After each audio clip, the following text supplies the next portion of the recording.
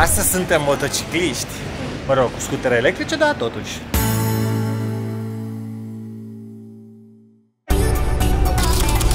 Tu poți să dormi în autobuz? Da. Nu, nu pot. Că astăzi avem uh, de mers, uh, deci Google Maps ne spune că avem de mers 13 ore cu mașina. Dar noi suntem într-un microbus și mai trebuie să schimbăm două autobuze. 600 de kilometri, de la plaja în Gapali până la Pagani. Probabil că ajungem pe mâine, nu? Chiar dacă e lungă, călătoria e interesantă și amuzantă. Bine, noi doi nu ne plictisim niciodată, dar Jur că e cea mai tare autogară în care am fost eu vreodată. No, vezi, dar asta e ceea ce se cheamă în limbaj pitoresc o budă.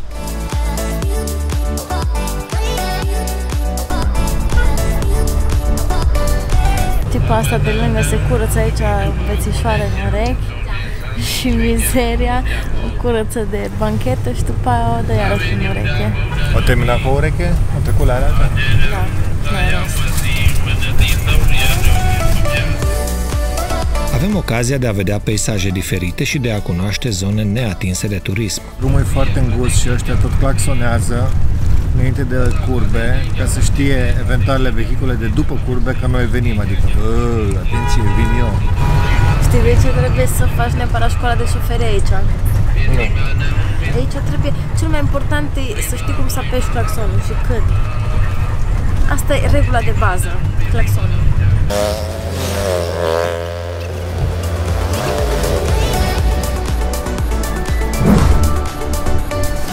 Aici scrie numai în uh, limba lor, în birmaneză, cu alfabetul lor, nu înțelegi nimic, nimeni nu vorbește engleză, dacă ar pleca autobuzul fără noi de aici, fain ar fi.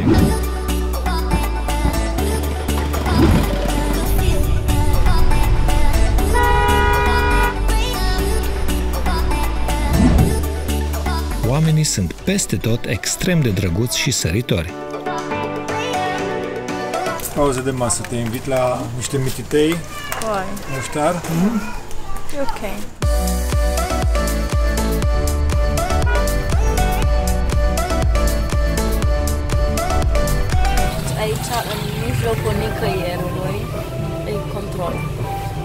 E granița între regiuni, între statele din Uniunea Myanmar. După aproape 10 ore de mers cu primul microbuz, ajungem la al doilea autobuz. Tocmai traversăm Dunărea lor, uh, fluviul Aera Wadi. Puteam să mergem și cu bacul de aici vreo câteva zile și doar o dată pe săptămână circulăm. Timp să ai, că în rest Not looking back, eyes on the shade. We're on the run. This is what we waited for. No, no, hukum adalah. Yeah, mine. Ini nak mine. Yes, sorry. Okay, okay. Okay. Bye bye. plecat pe acasă fără mine, mă, plecat pe acasă fără mine, băi! Ești nebun!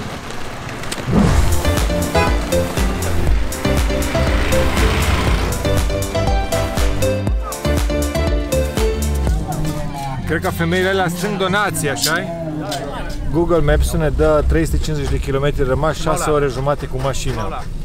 E ora 5 jumate seara. Curios la cât ajungem?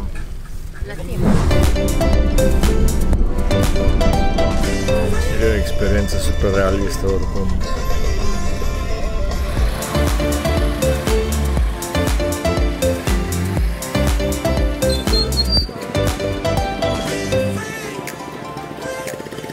Mai în cap, mai în cap. Fac loc dacă nu. În autobuz, după ce că n-ai loc, mai și urlă muzica în urlă. urlă. Nu, nu pot să vă spun că e muzică, e ceva acolo. Ba! Și urlă exact difuzorul, care e un difuzor din ăsta de calitate maximă, de chinezesc, știi? Fără înalte, fără bași, nu m-am de deasupra capului meu.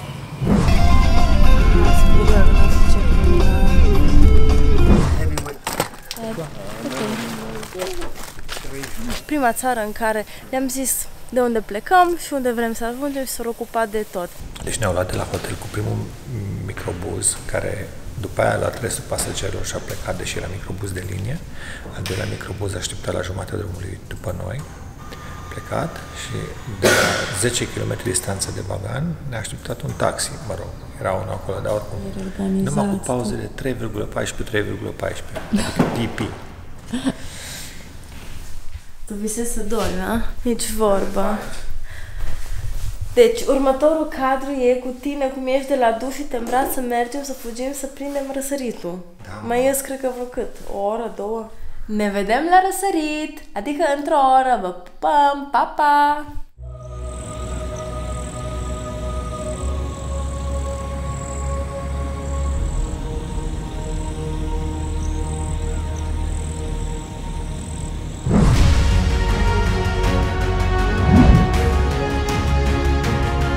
– 2200 de temple.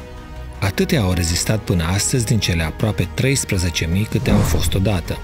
Bagan a fost între secolele 9 și 13 capitala primului regat din Myanmar. Celebrul explorator Marco Polo a găsit aici în secolul al XIII-lea un oraș de aur în care răsună clopote și incantații ale călugărilor.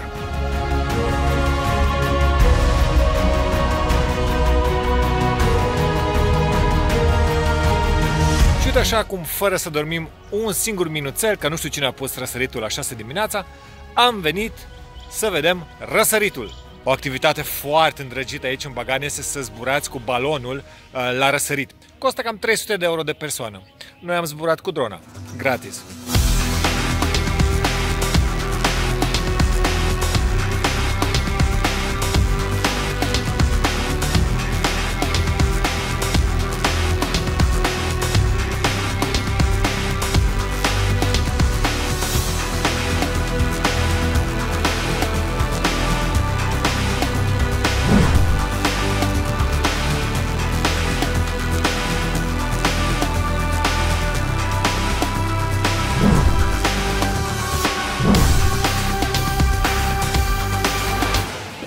Blondă, eu spurcel și băgăm la stomacel. Am fost, am văzut răsăritul, suntem super fresh după o noapte nedormită. Mm-hmm. Mâncăm repede, închirem două scutere și înapoi la temple. Yep. Excited? You're scared. Excited? You know that Look, you've got a helmet too! put it on, put it on! so cute. But you know that it's the first time, right? It's the first time on a bike? Yeah.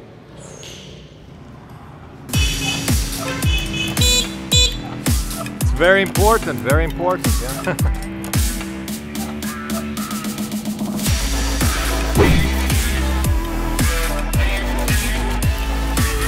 I can do it. Cele 2000 de temple, vechi și noi, închise sau nu, refăcute sau în paragină, se întind pe o suprafață de 42 de kilometri pătrați. Suprafața e prea mare de explorat pe jos. Cel mai bine se pretează bicicletelor sau scuterelor electrice. Mai puteți vizita templele în căruțe trase de cai sau cu taxiul, dar categoric veți distruge farmecul momentului.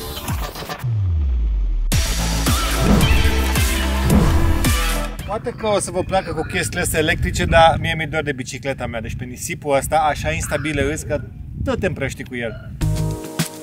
Vegetația semideșertică, temperaturile ridicate și templele ascunse îți dau un feeling de film de aventuri.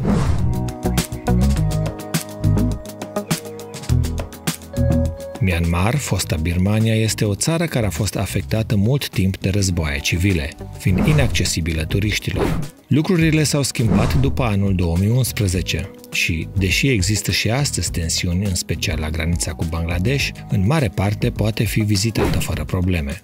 Infrastructura turistică este însă precară și țara are renumele de destinație scumpă, pentru că majoritatea turiștilor folosesc zborurile interne sau autovehiculele de teren închiriate cu tot cu șofer. Comparat deseori cu celebrul Angkor Wat din Cambodgia, Bagan este mai mare, mai sălbatic, mai greu accesibil și mai puțin vizitat de turiști. Deci, chiar dacă puteți vizita toate templele, trebuie să vă dați ciorapii jos, și, bineînțeles că și pantofii, și este interzis să vă fotografiați cu spatele la Buddha. Deci o să fiți tot timpul cu fața către el, că altfel este lipsă de respect. Mai puțin turiști înseamnă și mai puțin localnici care încearcă să-ți fie ghiz sau să te tragă în piept prin diferite metode. Una uzuală este să-ți ceară bani pentru colecția lor. Prietenii noștri au cole- o colecție de bani. Bine tot felul surpriză! Wow! Și nu e de la noi. E un leu, ce coamă mare are. Small, small.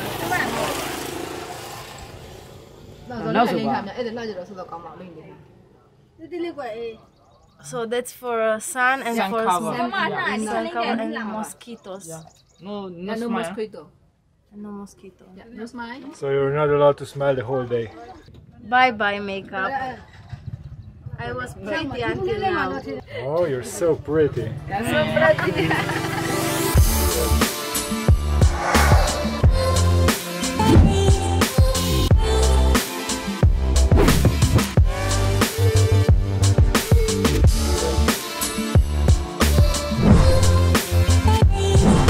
Pentru turiștii la buget sau pentru vloggeri, Myanmar este un paradis, neatins de turismul de masă, dar în care trebuie să te înghesui cu localnici în microbuze ocazionale sau trenuri inconfortabile pentru a parcurge distanțele uriașe. Experiența este însă unică și fantastică.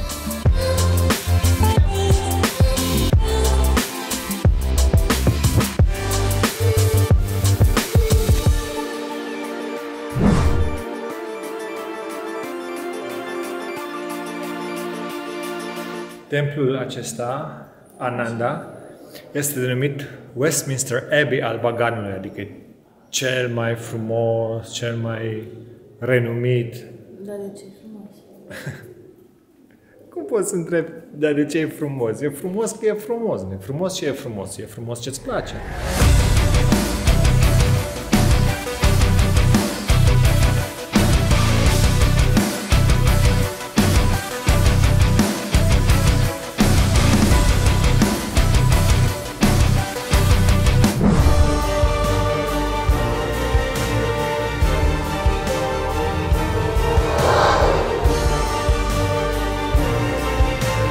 Aveți ocazia să experimentați aici mâncăruri exotice și foarte exotice. Nu vă așteptați la restaurante de lux și iertați țânțari și unele insecte simpatice care sunt foarte curioase să vadă de aproape ce mâncați. Cum te mănânci la un asemenea restaurant? Mai bine nu mă întreb. Părinții tăi știu? Nu, dar soțul meu nu mă duce la restaurant, că vrea numai să filmeze și nu mă duce să mănânc. Au ăștia un stil, că parcă sunt crude. Cine sude? Crude. Am. Deci chestia asta e cea mai faină din tot Myanmarul. Un fel de sos de soia cu usturoi și cu ardei iute.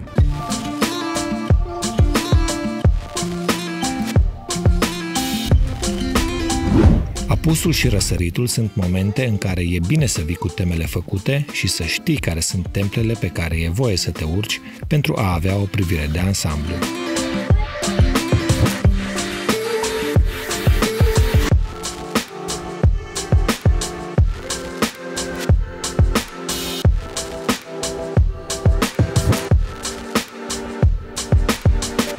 A fost o zi lungă.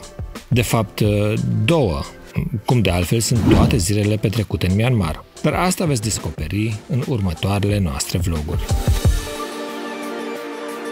Cine poate fi atât de nebun încât să vină doar pentru o zi în Bagan? Everyday ca Noi. Everyday ca noi. nu uitați, ne e drag de voi că vă uitați la noi. Așa că faceți-o și în continuare. Pa, pa!